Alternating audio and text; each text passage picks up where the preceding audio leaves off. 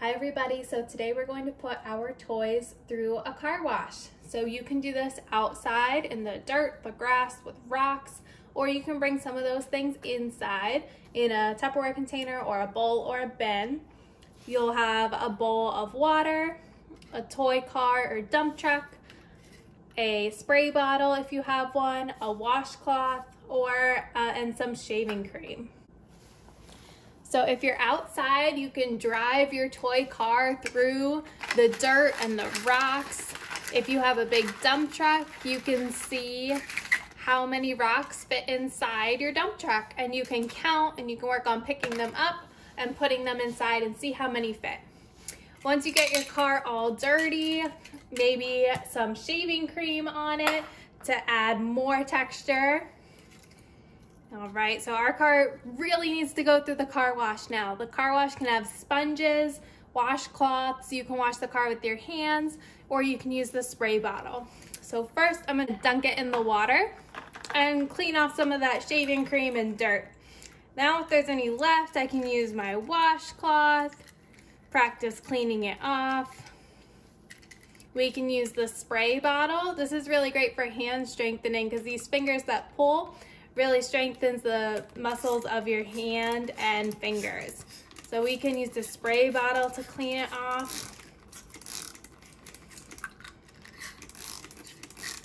And our car has made it through the car wash. The next thing we're gonna do is go outside and make a big obstacle course to go through a car wash on our own.